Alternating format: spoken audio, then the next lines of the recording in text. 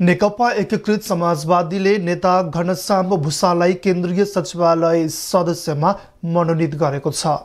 Party कार्यालय तिनकुनेमा आज बसेको समाजवादीको सचिवालय बैठकले भूषाललाई पार्टीको केन्द्रीय सचिवालय सदस्यमा मनोनित गर्ने निर्णय गरेको महासचिव बेदुराम भूषालले जानकारी दिएका छन्। बैठकमा भूषाललाई जिम्मेवारी दिने एक मात्र एजेन्डामा छलफल भएको र सचिवालय सदस्यको जिम्मेवारी प्रदान गर्ने निर्णय भएको उनले बताएका छन्। निर्णय छ। त्यो के हो भने घनश्याम भूषाल हिजो हाम्रो पार्टीमा आबद्ध हुनुभएको थियो।